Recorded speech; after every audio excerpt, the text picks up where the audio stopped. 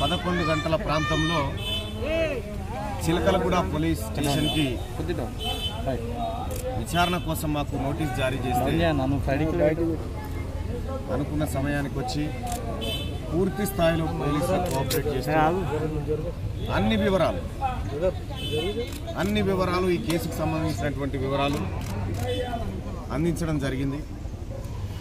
పూర్తి స్థాయిలో వాళ్ళకి కోఆపరేట్ చేయడం జరిగింది. ఈ భూ ప్రపంచంలో ఎక్కడైనా ఏ ఇన్వెస్టిగేషన్ అధికారి అయినా ఈ కేసును పదిహేను నిమిషాల్లో విచారించవచ్చు. కానీ ఉదయం నుంచి ఇక్కడి వరకు కావాలని పైనుంచి ఫోన్లు. ఆయన ఒక క్వశ్చన్ అడుగుతాడు లోపలికి పోతాడు మాట్లాడొస్తాడు. ఇంకో క్వశ్చన్ అడుగుతాడు లోపలికి పోయి మాట్లాడొస్తాడు. ఇంకో క్వశ్చన్ అడుగుతాడు లోపలికి పోయి ఫోన్ మాట్లాడొస్తాడు. ఈ రకంగా నాలుగు గంటల పాటు టైం పాస్ చేసి కేవలం కేవలం తీన్మార్ మల్లన్నను గంటల కమానం పోలీస్ స్టేషన్లోనైనా నిర్బంధిస్తే బయటి ప్రపంచానికి వాస్తవాలు తెలియకుండా దాచిన అనేటువంటి ఒక కుట్రతోని ఈ కథ చేస్తూ ఉన్నారు.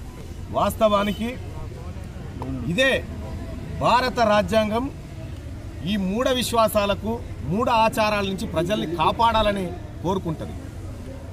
ఇవాళ ఉంగరాలతోటి బటువులతోటి బతుకులు మారుతాయని చెప్పేటువంటి ఈ వ్యవస్థ పైన అలా మారదు ఇది మారేది భారత రాజ్యాంగం ద్వారా మారుతుందని చెప్పినటువంటి తిన్మార్ మల్లన్న పైన కేసు పెట్టారు ఇవాళ కేసు పెట్టదలుచుకుంటే ఆ ఎవరైతే ఆ బాధితుడు పెట్టిరో ఏప్రిల్ నెలలో కేసు పెడితే మొన్న రాత్రి హడావిడిగా తీసుకొచ్చి అక్కడ రెండు గంటల పాటు నిర్బంధం చేసి అక్కడ నోటీసులు సర్వ్ చేసి తీరా రెండే రెండు రోజులలో రెండే రోజులలో మా ముందుకు రావాలని చెప్పి మళ్ళీ నోటీస్ సర్వ్ చేసినారు.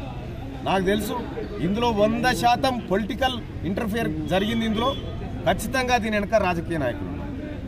పాపం ఆ పోలీసు వాళ్ళు వాళ్ళ ఇబ్బంది కాదు వాళ్ళ బాధ కాదు. ఏం చేయాలనో అర్థం కాక తలలు పట్టుకునే పరిస్థితి ఉంది. బయట ఓ పక్క వీళ్ళు లోపట వాళ్ళు మీద అధికారులు ప్రెషర్. కనీసం ఇంకో గంట సేపన్నా కూర్చోబెట్టండి. ఇంకో గంట సేపు అయినా కూర్చోబెట్టండి అని చెప్పి వాళ్ళకి ప్రెషర్ జరుగుతున్నట్టుంది. నాకు తెలిసినటువంటి ఒక మాట ఎన్ని ప్రెషర్లు పెట్టినా ఎన్ని నిర్బంధాలు చేసినా